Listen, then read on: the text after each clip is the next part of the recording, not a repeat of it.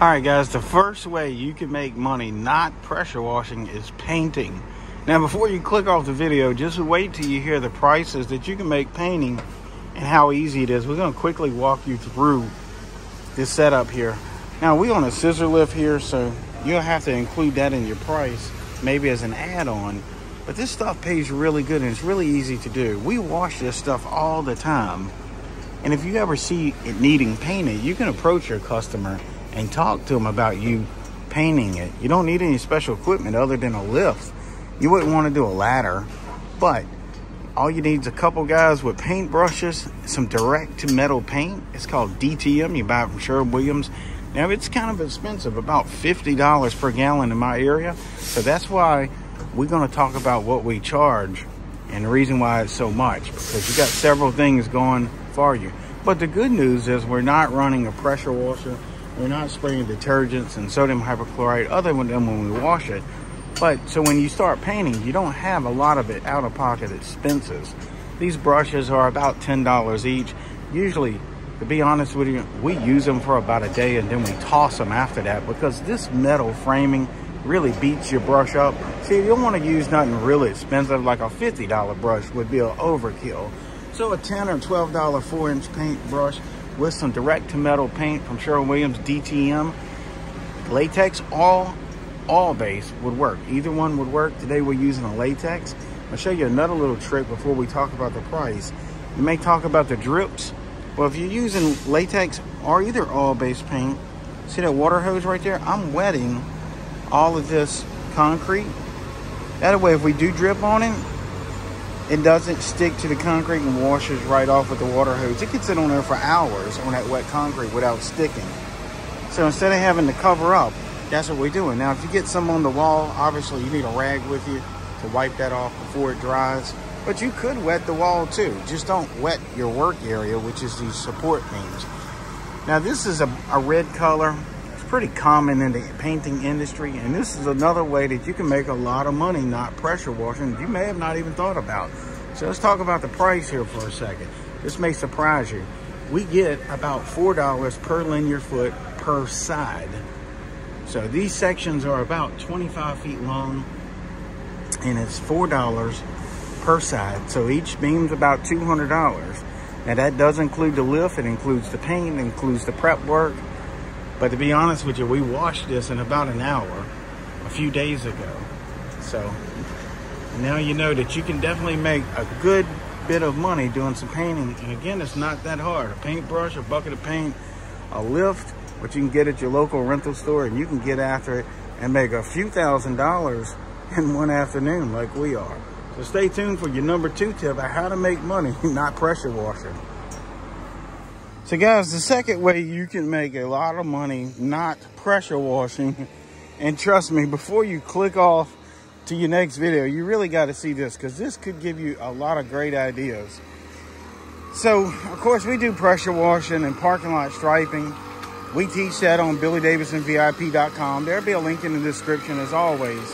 But this is neither either or. This is a vacuum. This is artificial turf. Now, it does really good on picking up trash and litter.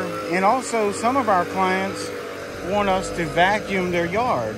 We're and look, we're not landscapers and we're not pretending to be one and we don't want to be one. But this pays $75 per hour per person per vacuum. We do it all the time and we get paid for it. Also, Apex takes this vacuum around his local area and vacuums up gas station litter. The little bit of trash that's in a gas station, around a gas station. I'm gonna tell you something about that. It could give you a great idea. So make sure you stay tuned. But he goes in and vacuums up the cigarette butts and the litter. This thing kind of mulches it as well. And the bag, as you see there, holds the debris or the litter. And he does four or five of them on a weekend. And he charges $75 per gas station. And what you need to do is get you a business card.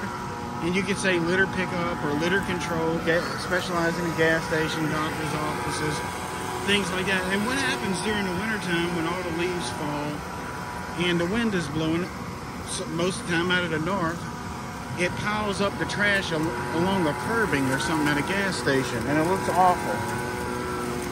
And the gas station needs that cleaned, and they, especially right now in the labor shortage, they don't have the personnel to go out there and sweep all that stuff up and remove it. They barely got enough people to run the gas station itself to sell you gas. So litter control, litter pickup, of course, you're gonna work, but $75 an hour is better than nothing. And if you don't have a lot of money to spend, you can get one of these little blower vacs for a couple hundred dollars.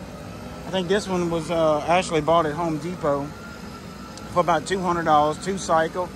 And as you hear it now, he's got it on about a quarter throttle.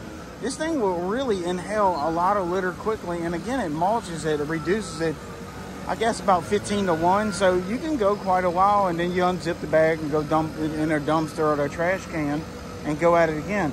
Again, $75 an hour. It's a way you can make money not pressure washing. And before we get to the third and final way you can make money not pressure washing, I want to urge you to go visit BillyDavidsonVIP.com. That is my website that has video training that can help you grow your pressure washing business so you can stay busy 365 days a year. And if you have made it this far in a video, please leave a comment of any extra ways that you know how you can make some money not pressure washing. So for the third and final way, yes, it is window cleaning. If you're not familiar with window cleaning, you do need some equipment for it. This equipment setup cost me about $1,000 for the tank and pole. This is a DI system bought from windowcleaningresources.com and it is very simple to do and you can make as much as $250 per hour cleaning windows with a one man setup.